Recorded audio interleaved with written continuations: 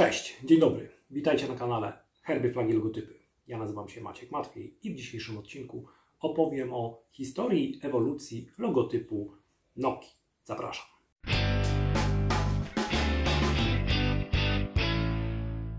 Nokia, właściwie Nokia Corporation, fińska międzynarodowa firma telekomunikacyjna, informatyczna i elektroniczna założona w 1865 roku.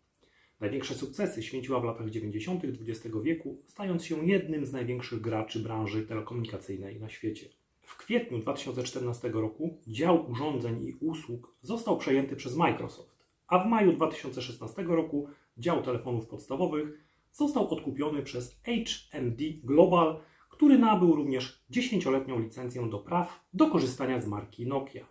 Nokia jest spółką akcyjną notowaną na giełdzie papierów wartościowych w Helsinkach i nowojorskiej giełdzie papierów wartościowych. Motywacją do nakręcenia dzisiejszego odcinka było oczywiście zaprezentowanie kilka tygodni temu nowego logo korporacyjnego Nokii.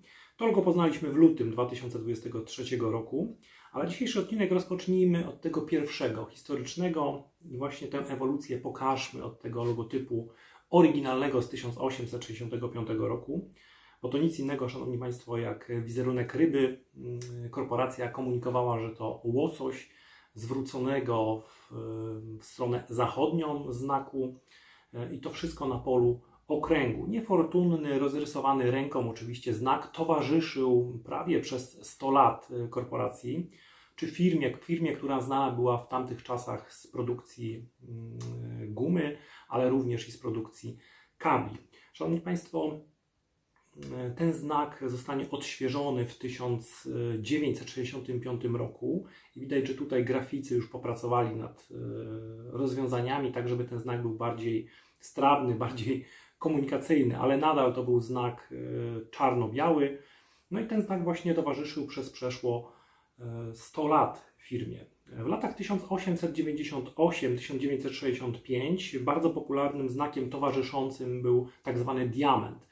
E, diament e, z nazwą u dołu Nokia charakterystyczną oraz z rokiem e, produkcji. Pokazuję Państwu oczywiście te wszystkie mm, znaki. Widzimy tutaj 1898, czyli rozpoczęcie jakby mm, działalności na szerszą skalę, działalności mm, handlowo-produkcyjnej.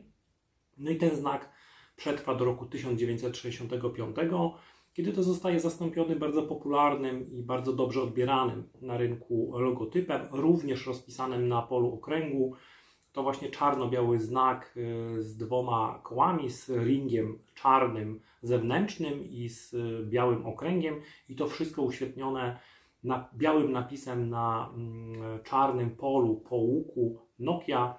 Y, ten znak, Szanowni Państwo, niektórym przypominał pandę, uśmiechniętą pandę, tak ten znak był nazywany. I ten znak przetrwał do roku 1978. W 1966 roku po połączeniu fabryki kabli z, fabryki, z fabryką gumy, Nokia zaprezentowała po raz pierwszy znak e, z niebieską nazwą, już właśnie napisany e, dużymi literami, prostymi literami, z charakterystycznymi czarnymi strzałkami zwróconymi ku górze, e, można powiedzieć po tej stronie po tej stronie wschodniej znaku, logotypu. I to taki znak protoplasta do tego głównego, który poznamy od roku 1978, po te strzałki. I, te, i tamten znak, szanowni Państwo, był nazywany Nokia Arrows.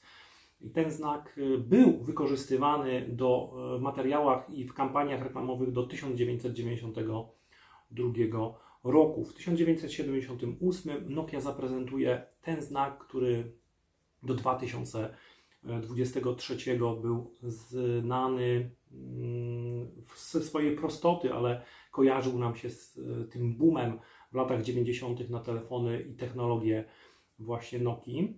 E, to nic innego jak granatowe czy ciemno-niebieskie, duże litery, e, prosta czcionka, wszystko na białym polu. I, I, do 2003 roku znaliśmy tylko i wyłącznie tę wersję bez sloganu reklamowego Connected People, e, ale oczywiście ten główny znak Nokia będzie towarzyszył do 2023 e, korporacji. Będą się oczywiście zmieniały kroje czcionki, ale jakby główna myśl była wykorzystywana do lutego 2023, kiedy to właśnie w lutym 2023 firma postanowiła mm, przedstawić nie tylko nowy znak, ale również swoją nową koncepcję, agresywną koncepcję. Pozwólcie Państwo, że przytoczę kilka, e, kilka zdań z e, światowych mediów. E, przygotowałem sobie trzy cytaty, które bazują na komunikacie oficjalnym korporacji. I tak, Szanowni Państwo, Nokia wraz z nowym logotypem zmienia swoje DNA. Fińska korporacja stawia na agresywny rozwój. Nie chce być kojarzona z telefonami, a być dostawcą rozwiązań technologicznych dla biznesu. Kolejny cytat. Nokia informuje o zmianie tożsamości marki. I kolejny, firma wraz ze zmianą logotypu ma koncentrować się na agresywnym rozwoju. Zobaczmy, jak wygląda ten nowy znak. Szanowni Państwo, to dobrze zaprojektowany, nowoczesny znak, tworzący e, bardzo stylowy i progresywny wizerunek firmy. Nowa koncepcja opiera się na ostrych, dużych literach w jasnym odcieniu niebieskiego, z brakującymi niektórymi kreskami w literach N, K i A. Tylko litery O i I mają pełne kontury, dzięki czemu logo wygląda bardzo niepowtarzalnie i ostro.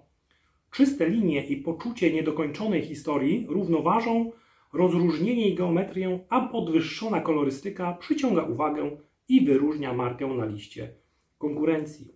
Warto na zakończenie dopowiedzieć, że nie tylko logo, ale również i pełna koncepcja wizualizacyjna jest autorstwa nowojorskiej agencji medialno-reklamowej Lipping Code.